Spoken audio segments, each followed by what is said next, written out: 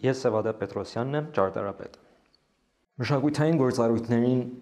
հատուկ հատկացվող տարածքները պատմականորեն եթե նայենք, երևի հատուկ են հարուստ հասարակություններին։ Որպես օրինակ, եթե ասենք, եթե նայենք հին Հռոմի ժամանակ, Հռոմը իրեն կարող էր թույլ տալ կառուցել կառույցներ ինչպես են, ինչպեսին կոլեզիումն է եղել, կոնկրետ մշակութային գործառույթների համար Հակառակ դեպքում եւ հետո, ասենք, ուրիշ տեղեր եթե նայենք պատմության ուրիշ հատվածներում, մշակութային գործառույթներ միշտ զբաղեցրել են հասարակական ուրիշ տարածքների, այլ տարածքներում կամ կիսահասարակական գործառույթ ունեցող տարածքներում ինչ որ մի մաս որպես քաղաքաստեղծ գործոն միշտ ավելի պաշտամունքային կամ առևտրական տարածքներն են եղել ասպես դոմինանտ ժամանակին բայց պատմության ընթացքում երբ սկսեց փոխարինվել այդ պաշտամունքային գործառույթը ավելի մշակութային գործառույթներով մշակութային տարածքները նաև սկսեցին ունենալ այդ կշիռը քաղաքի մեջ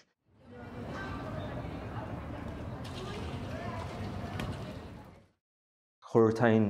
ժամանակաշրջանում ժամանակաշրջանից սկսած հատկապես այն դեպքում, որ խորհրդային միությունը ուներ շատ հատուկ քաղաքականություն մշակույթի հետ կապված եւ նաեւ որտեղ բացառվեց պաշտամունքային կառույցների գոյությունը համարյա վերացան ինչպես նաեւ շուկան կարգավորվեց շուկան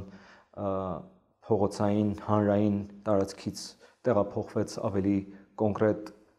նախատեսված տարածքներում այդ քաղաքաստեղծ եւ կշիռ ունեցող քաղաքային միջավայրի քաղաքային միջավայր ստեղծելու գործառույթը իր վրա իր վրա վերցրեցին մշակութային տները. կինոթատրոնները, թատրոնները, ցուցասրահները, թանգարանները եւ այլն եւ այլն։ Չնայած ժամանակին նախասովետական ժամանակ մենք ունեցել ենք ինչ որ չափով հատուկ նախատեսված տարածքներ մշակութային գործառույթների համար, բայց ներկայումս այն ինչ որ մենք ունենք, այն ինչ որ մենք շարանգվել է, մեծամասնությունը մեզ հասել է խորհրդային ժամանակաշրջանների ժամանակաշրջանից։ Կառուցվել են խորհրդային տարիներին։ Մշակութային հատուկ գործառույթ ունեցող այդ կառույցները նաև ոչ միայն իրենց քաղաքաստեղծ բնույթից ելնելով, այլ նաև իրենց յուրահատուկ լինելու առումով նաև ունեին ճարտարապետական հատուկ մոտեցումներ, այսինքն եթե նայենք քաղաքում կինոթատրոնները, թատրոնները, թանգարանները, դրանք նաև սիմվոլիկ առումով տեղանշանային ճարտարապետություն ունեն, landmark, այսպես ասած։ Իրանք գուցե գուցե ամբողջությամբ հանրային տարածքներ չէին, կիսահանրային տարածքներ էին, բայց իրենք իրենց շուրջ կարողանում էին թե իրենց կերպարի պատճառով եւ թե իրենց գործառույթի պատճառով ստեղծել հանրային տարածք մենք անընդհատ զարմանում ենք թե ինչու են այգի այդ շրջակա այգի թատրոնի շրջակա այգիները օկուպացվում, այսպես ասած, սրճարաններով, բայց գուցե դա շատ բնական եւ բնականon զարգացում է, որովհետեւ նման կառույցները ունեն այդ ձգողությունը, որ գեներացնեն հանրային տարածք եւ իրենց շուրջ գրավեն մեծ քանակությամբ մարդկանց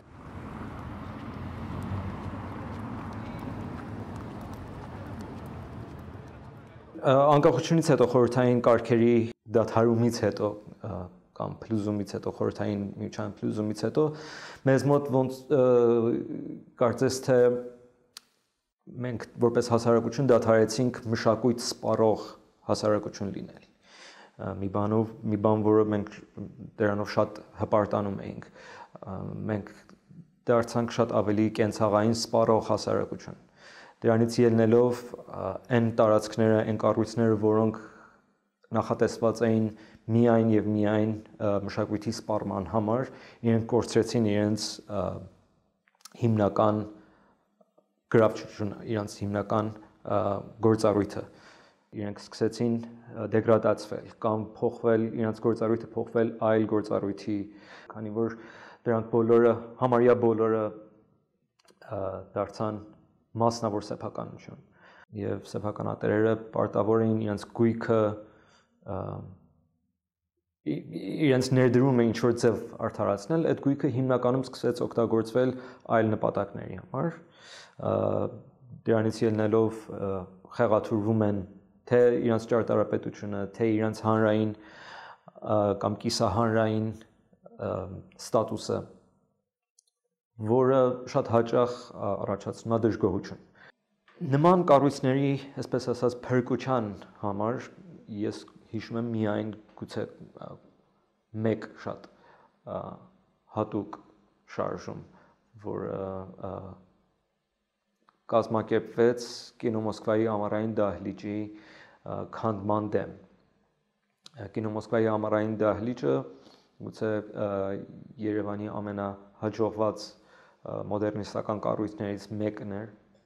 60-ական թվականներին, որը քիչ մոնումենտալ էր, բայց դա չի նշանակում, որ ինքը քիչ կարևոր էր քաղաքի կերպարի եւ հանրային ընկալման համար։ Համարյա օրենքի շրջանցումով հանվեց այդ ցուցակից ճանապարհ բացելով սեփականատիրոջը դա նվիրաբերելու հայ առաքելական եկեղեցուն, որ պատրաստվում էր տեղում կառուցել, վերակառուցել ժամանակին մոտակայքում եղած Պողոս Սուրբ Պողոս Պետրոս եկեղեցին։ Դա առաջացրեց բավականին մեծ, այսպես դժգոհության ալիք, ոչ միայն հասարակ մասնագիտական շերտերում, այլ նաև հասարակության մեջ։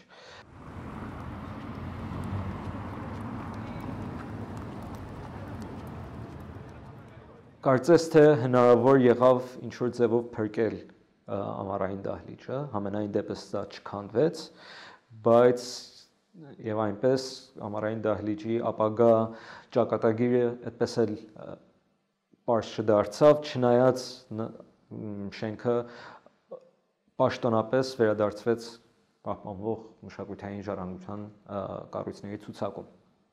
ուրիշ կինոթատրոնի պահպանության համար նաև նման շարժում սկսել, բայց քանի որ կառույցը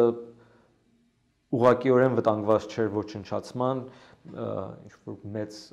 ալիք չեղավ դա, մեծ շարժում չստացվեց։ Ենթադրում եմ, որ նույն խնդիրը դեգրադացիայի ոչ թե ենթադրում, այլ վստահ եմ, որ նույն մշակութային կառույցների խնդիրը կա նաև Երևանից դուրս բոլոր այլ մանր ու խոշոր քաղաքներում, խոշոր չէ, ավելի մեծ քաղաքներում դրանց դրանց դեգրադացիայի դեմ դժգոհությունը երևի այդքան ցայտուն չի եղել կամ ես տեղյակ չեմ հավանաբար այն պատճառով որ մարզերը ունեն շատ ավելի կոնկրետ խնդիրներ առօրյայի, առօրյայի կենցաղի հետ կապված եւ դժվար թե իրանք կարողանան իրանց այդ ճոխությունը թույլ տան մարզերի բնակիչները ասենք բողոք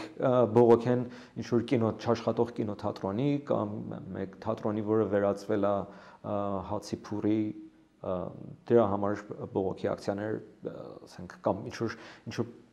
ջանք գործադրեն դրանց պահպանության համար։ Եթե նայում ենք մարզային ուրիշ քաղաքները կենցաղի բոլոր ասպարեզներում կա ակտիվություն խանութներ, հանրախանութներ, չգիտեմ, բոլոր, չգիտեմ, ժամանակակից տեխնոլոգիայի բոլոր սպառման բոլոր կետերը աշխատում են բավականին ակտիվ, բայց որևէ մի մշակութային մասնավոր հատկապես տարածք երևի չի աշխատում։ Ինչ որ աշխատում է, դա պետական հովանավորության տակ գտնվող մշակութային հաստատություններն են, որոնք ավանդաբար ունեն իրենց տարածքը եւ այլն եւ այլն։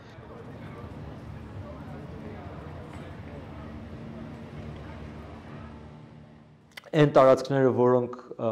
պետությունը պետական հովանավորությունը չի կարող այլևս ապահովել գործունեությունը դառնում են մասնավոր սեփականություն եւ բարձր մասնավոր սեփականություն որ դառնում են վտանգված են փոփոխության ու առնվազն գործառույթի փոփոխության եւ ավելի վատ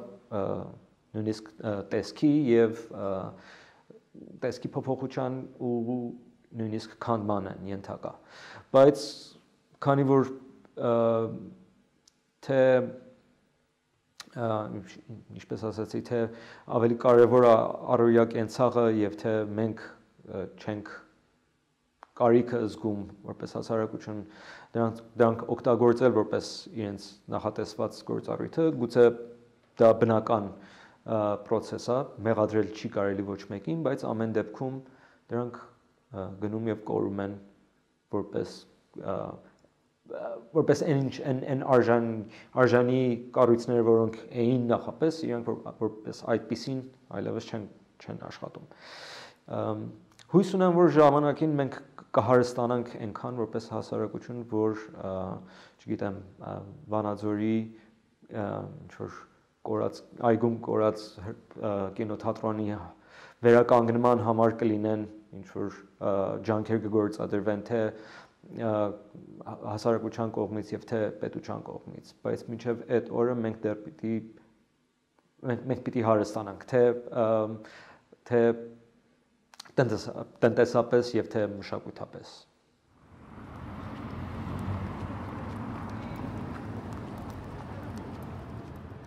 Իրականում ինձ թվում է, որ դա շատ բազմաշերտ խնդիր է, այսինքն այդքան parzեցնել այն առումով, որ հասարակությունը բողոքում է, իսկ իշխանությունը չի լսում, դա մի քիչ parzamտություն կլինի։ Անկեղծ ասած, ես անձամբ հավատացած եմ, որ իշխանությունը նույնիսկ պարտավոր չի ապահովել մշակութային ինչ որ քաղաքականություն, մշակութային կյանք դա հասարակության խնդիրն է, հասարակությունը ինքը իրան պետք է գեներացնի դա։ Ինչպես տնտեսությունն է, տնտեսությունը գեներացնում է հասարակությունը իր առօրյա կենցաղով։ Այ արդեն ժառանգության պահպանությունը դա չի կարող լինի միայն հասարակության գործառույթ։ Դա պետք է լինի պետական գործառույթ։ Մյուս կողմից կա սեփականության ու սեփականության տնօրինման հարցը գուցե հեշտ է ասել եկեք պահենք կինո Մոսկվայի ամառային դահլիճը կամ կինո Ռասիան, ինչպես որ կա,